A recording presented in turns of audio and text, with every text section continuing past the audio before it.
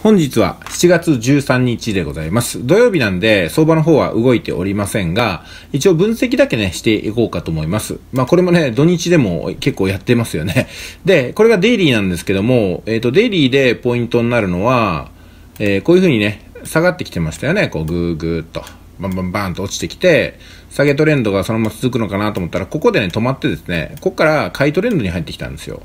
私はそういうふうに見たんですよね。でも、一旦ここで下がってますよね。私の見立てとしては、こういうふうにこういうふうに変わっていって、109円とかを目指していく、110円に行くんじゃないかなっていうふうに解説してるのはまだ変わってません。えーここでね、えー買いトレンドに入ったよってことは、あまず念を押しておこうかと思います。買いトレンドに入ったのは、ここですよ。で、ここから上に上がっていくんだということですね。次、4時間見てみましょうか。4時間を見ていきますと、こういう風になってきて、そうですね、えーこういう風に、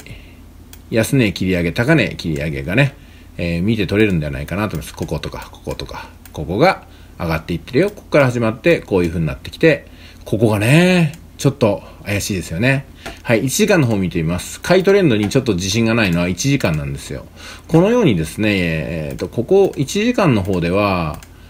ここぐーっと上がってきたんですけども、下がってですね、で、ここに上がって、買いトレンド続行かなと思ったら結構値下がりして、ついにここを割ってるんですよね。割ってるということは、うん、どうかわかんないよってことなんですよね。こっちに向かっているのかもしれないと、1時間単位では。ということで、デイリーでは、あまあ上昇。で、4時間ではどっちかわかんないと。1時間では下降ということなんでね。えーこれ慎重に週が明けたらやっていかないと、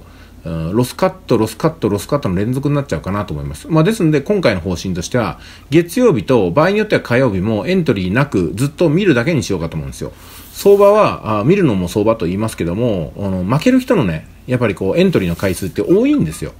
で、そんなにね、エントリーするようなチャンスが来るわけないんで、で、いっぱいエントリーするチャンスがあるってことは、見極める力があるってことなんで、勝ってるはずなんですよ。たくさんエントリーして負けてるってことは、その見極めが、見極めではないんですよね。えーついついやっちゃってるんですよ。私の場合は、これはエントリーするタイミングじゃないんじゃなかろうかっていう気持ちで9割ぐらいいつも相場解説を振り返ってるんですよね。自分自身の相場解説も本当かなっていう風な気持ちでやっぱり検証を繰り返してるんですよ。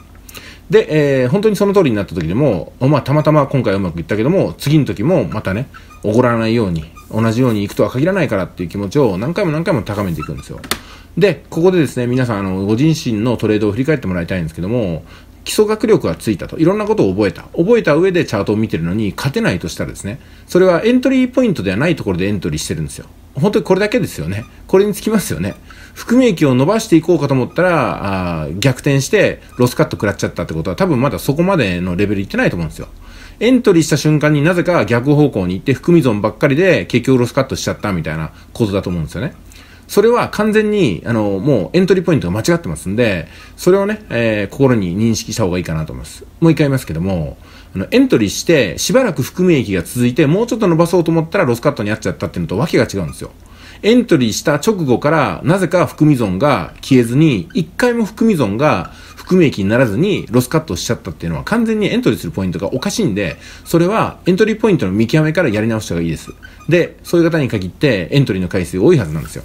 エントリーの回数が多くて負けてるってことは全然分かってないってことなんで、もう一回ね、一からやる必要があるんではないかなと思います。ということでね、私もですね、えー勝って兜の尾を締めるではないですけども、また東京に行って中村トレーダーに個別をいただこうかと思います。えー現在ね、この個別に、相乗りする方っていうのが何人かあ希望を出されています。8月5日になる見込みなんで、ちょっと皆さんお忙しいところだとは思うんですけども、私も夏祭り8月17日に町内会の控えていて、8月5日とか、本当はね、東京に行ってる場合ではないんですけども、でもね、でもでもそうは言っても、トレードに命をかけた、そのぐらいでやってますから、夏祭りも両立させながらね、絶対ににやり込んでいこうかと思います。8月5日、東京の方に参りますので、えーもしね、FX のことで、まだ悩みが消えてないという方、えーぜひ私の方にメールをいただければと思います。中丸トレーダーと私と一緒ってわけにはね、もしかしたらずっと一緒ってわけにいかないかもしれませんけども、私の個別が終わった後、今度は共同で講義をいただくっていう流れをね、作れるかと思いますんで、よろしくお願いします。それでは本日は以上です。頑張ってくださいね。